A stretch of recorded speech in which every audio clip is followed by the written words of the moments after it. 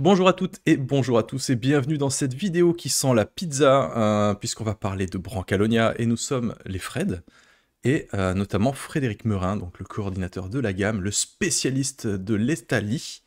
Et euh, voilà, on va faire un petit tour d'horizon. Donc, bah écoute, je te cède la parole. Est-ce que tu peux nous dire un petit peu, grosso modo, bah, c'est quoi Brancalonia Brancalonia, c'est un cadre de campagne pour euh, la cinquième édition du plus célèbre des jeux de rôle.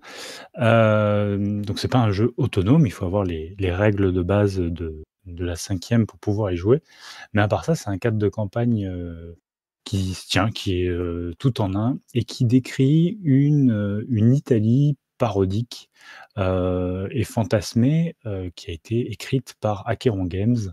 Donc qui est un éditeur italien. Donc c'est écrit avec beaucoup d'érudition et beaucoup d'autodérision, mais c'est pas du tout sérieux comme euh, vous l'aurez compris à l'introduction de la vidéo, puisque c'est, euh, comme vous le voyez sur la petite vignette juste au-dessus, c'est un jeu de fantasy spaghetti. C'est un jeu qui va mettre en scène des canailles. Vous n'allez pas jouer des héros qui sauvent la veuve et l'orphelin. Vous, vous êtes plutôt euh, des traînes savates et des vanupiers qu'il faut dont il faut botter le derrière pour aller faire des corvées, non pas des aventures, mais des corvées. donc c'est un jeu qui se prend pas au sérieux, qui est pas forcément parodique au sens on va se moquer de tout ce qu'il y a en permanence. Par contre, voilà, c'est un jeu qui, qui laisse la part belle à l'improvisation, à l'humour, à l'autodérision et aux situations rocambolesques et, et un peu loufoques. Ok. On rappelle que Brancalonia donc, est sorti en version française au studio Agathe. C'était quoi en 2022, je ah, À force, euh, force c'est 2021, je 2021. pense. 2021 euh, ou, tout début 2022. Tout début 2022. Dans mon Oui, c'est ça, c'est tout début 2022. Ça a été le premier financement participatif du studio en 2022. Qu'est-ce qu'on a financé, grosso modo, pour l'instant en français Qu'est-ce qu'il y a de disponible?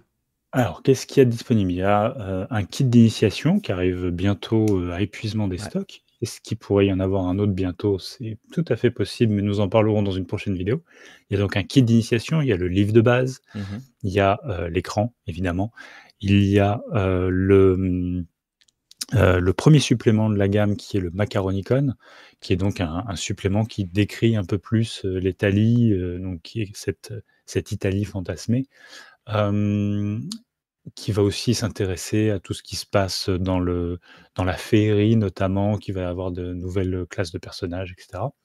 et puis il y a deux suppléments, euh, en fascicule. Un qui est un supplément de scénario, euh, écrit par Arthur Camboli et par votre serviteur et puis un autre qui est un recueil de de petites gazettes qui s'appelle le Porte-Malheur, dans lequel il y a des accroches de scénario et plein de plein de petites idées pour faire vivre l'univers. Et, voilà, et donc il y a deux, deux recueils comme ça de, scénarios et d'accroches. Et on n'oublie pas non plus la recette de la pizza ananas, bien évidemment. Ah oui, qui était réservée pour les qui était réservé pour les contributeurs de la première session, mais qui sait peut-être qu'un jour nous la verrons imprimée au détour d'un supplément ou d'une publication. Ouais, moi j'attends surtout de la voir dans un four en fait, si tu veux. Ah bah du coup, Du coup, on a eu plusieurs questions justement sur le fait que euh, est-ce que on va produire la suite de Brancalonia Bien sûr, bien sûr, bien sûr. Euh, une gamme qui est très vivace mm. euh, en, italien et en anglais. Donc Acheron écrit à la fois en italien et en anglais les, les, nouveaux suppléments. Ils ont écrit une première campagne qui s'appelle The Empire Wax Back, euh, euh, accompagné d'un supplément qui s'appelle le Jinx Almanac. Et ces suppléments sont en cours de traduction, fini de traduire. Euh, donc ça approche très vite. Mmh. donc pour The Empire Waxback, c'est déjà traduit. Et puis il y a encore deux autres suppléments qui ont été produits en, version originale. Chaque chose en son temps, mais on est sur le très envie aussi de les prendre. Très bien. Eh bien, nous verrons ça peut-être dans d'autres vidéos. Merci à toutes, merci à tous. Mhm. N'hésitez pas à vous abonner, à liker euh, cette vidéo. Un Chaque like, c'est une pizza ananas euh, mangée. Donc, n'hésitez pas. Et on se trouve pour une autre vidéo. À très bientôt. Ciao tout le monde. Ciao.